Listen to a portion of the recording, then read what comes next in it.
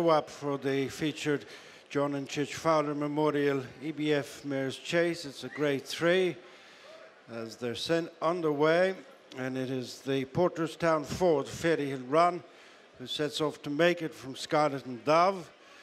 And they're tracked by the nose banded Ballyshannon Rose, Dolcita, and her stable companion Augusta Gold as they lift off the fence one. All safely over. Fairy Hill Run taken on on either side by Ballyshannon Rose and Scarlet and Dove. And then Dolcita and Augusta Gold racing a bit out from the other four. Fence number two, Ballyshannon Rose landed with a fractional advantage from Fairy Hill Run, Scarlet and Dove. Third behind Mount Ida and Elimay in last year's renewal is close up in behind the first pairing and then Augusta Gold and Dolcita. Turning in, to the two fences in the straight. Precious Little Between and the green cap Fairy Hill Run Harry Swan.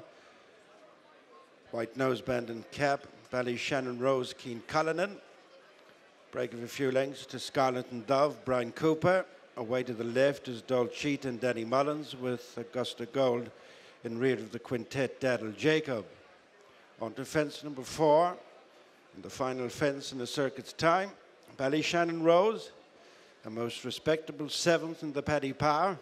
Comes towards the fourth, just leading on the approach Fairy Hill Run, and then Scarlet and Dove, Dolcita with the back marker Augusta Gold. A circuit of race, 11 fences left to jump, and the John and Chich Fowler Memorial EBF Mares Grade 3 chase over two miles, five furlongs.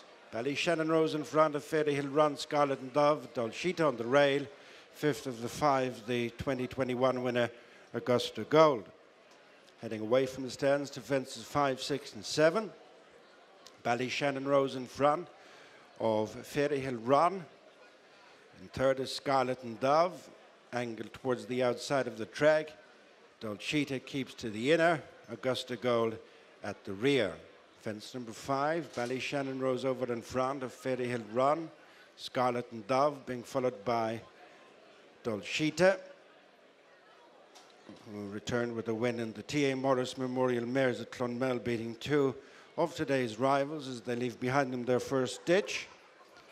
And on to the last in this line.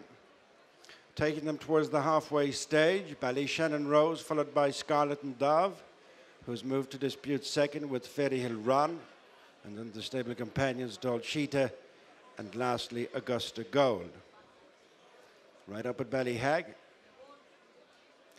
Eight more fences left to jump. And it's Ballyshannon Rose and Keen Cullinan. Two and a half in front of Scarlet and Dove. Bryan Cooper sharing second with Fairy Hill Run them out of Harry Swan.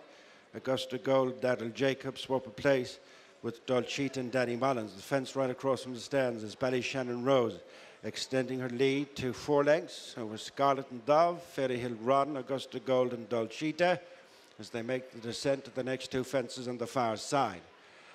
Just over a mile to go, seven to jump. It's Ballyshannon Rose enjoying. Three lead over Scarlet and Dove, who jumped it well and as a result got closer. Augusta Gold picks off another one, has moved into the third out of Dolcita and starting to struggle as Fairy Hill Run. Seven furlongs to go. Another five fences left to jump and the John and Chich Fowler Memorial EBF Mares Chase. Ballyshannon Rose out in front by five to Scarlet and Dove.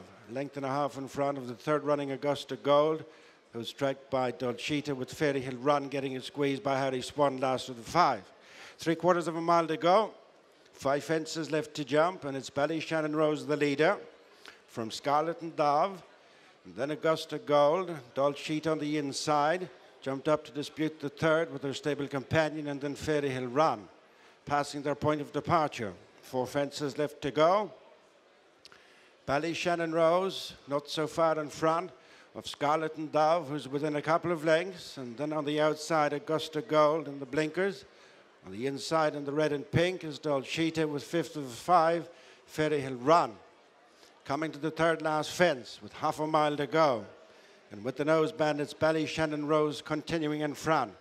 Poised as Scarlet and Dove, along with Dolcita.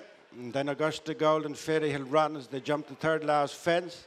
They're homeward bound. Fairyhill Run has parted company with Harry Swan at the back of the field as Harry quickly sits up. It's Ballyshannon Rose, tracked in by Scarlet and Dove, Dolce and Augusta Gold. They're the four left going as they race into the straight to the final two fences in the John and Chich Fowler Memorial EBF Mares Grade 3 Chase. Levelling off for home to the jump. And it's in the centre, Ballyshannon Rose. On the right, Scarlet and Dove coming to challenge. Dolce there on the left, going on from in fourth place is Augusta Gold. They're spacing themselves out in the straight. Scarlet and Dove right over towards the near side is sticking out. On the left is Dolce. They're wide apart. Ballyshannon Rose can't give any more. Coming to the final fence, and it's Scarlet and Dove, the leader from Dolce to Scarlet and Dove over the last from Dolce They're wall clear of Ballyshannon Rose. 150 yards left to go, and it's Scarlet and Dove back to herself and back on the score sheet in the John and Chich Fowler Memorial Mares Chase. One impressively for trainer Joseph O'Brien, who's having a, fine run this Christmas with Dolce to second, Ballyshannon Rose third, and the only other one to get round in fourth, Augusta Gold.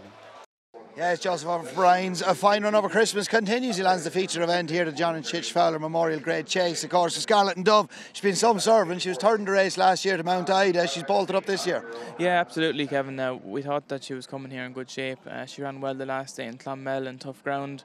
Uh, she's a big, gross mare. She takes a bit of getting fit, and uh, thought it was a good performance today. Two very good mares pulling away from a good mare as well. And I, I imagine you were confident as you could be coming here today to turn it around the Clonmel run with Dolce because you were giving her 11 pounds in Clonmel. You were nine pounds better off today, and you had the run under your belt. Yeah, well, well, we, we, we did think that uh, we certainly would get a lot closer to her, and uh, you know to pull with the weight, but also you know to pull fitness wise, just because the filly naturally take, takes a couple of runs to get fit, um, and uh, yeah, we thought we'd certainly give her a bit more of a run for her money today, and delighted with that performance, and you know she looks like she's at least a good a mare this year, if not, hopefully she might be a bit better. Exactly. I presume all roads will lead back to the Mares' Chase at Cheltenham, where it was such an agonising defeat, just run out of a close home last year. Yeah, like I mean, you know, she ran a huge race there last year. You could argue to say she was a fraction unlucky, but that's the way that's the way it goes. It was a great run. She just missed the last, and uh, um, I'd imagine we'd go there now with, with a run somewhere between now and there. Um, that'd be the plan. And she's uncomplicated to ride, as you saw here today, because we've seen her make it in the past, which she did at grade one, or when she won her grade two final run of the season, bounced out, made all of Punchestown. Today she dropped in because you knew there was going to be plenty of pace on with Ballyshannon Rose and Fairyhill running it. Yeah, no, she is, and, and she's really got her jumping together well.